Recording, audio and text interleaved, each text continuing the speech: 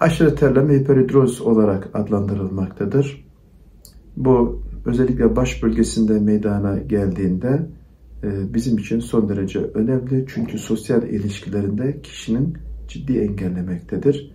Bunun nedenleri ne olabilir? Öncelikle sebebi bilinmeyen bir terleme karşımıza çıkabilir.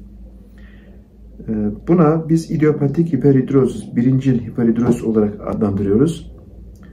E, vücudun ısıyı düzenlemeye çalışırken aşırı miktarda ter üretmesiyle ilgili bir durumdur.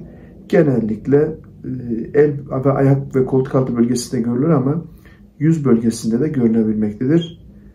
Bunlar da genetik faktörler rol alabilmektedir. E, ikinci hiperhidrozis dediğimiz ise e, diğer sağlık sorunlarının belirtisi olarak ortaya çıkar. Bu durumlarda terleme daha yaygındır. Vücudun tamamında da görülebilir.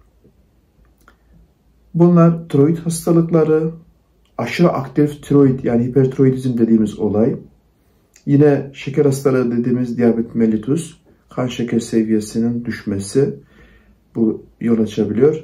Ve özellikle kadınlarda menopoz çok ciddi şekilde e, terlemeye yol açabilmektedir.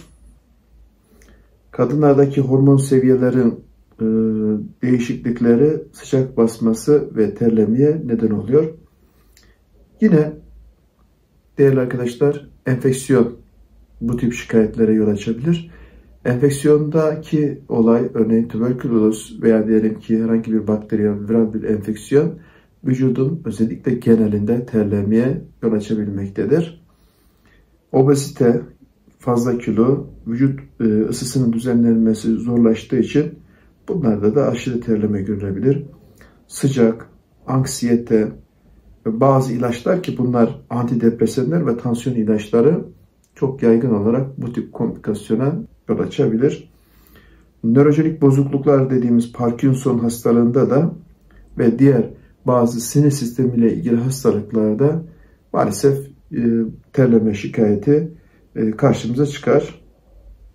Eğer aşırı terleme yaşam kalitesini olumsuz etkiliyorsa ve altta yatan bir sağlık sorunu düşünülmüyorsa bu tip durumlarda hasta cerrahi açısından değerlendirmesine çok ciddi fayda var.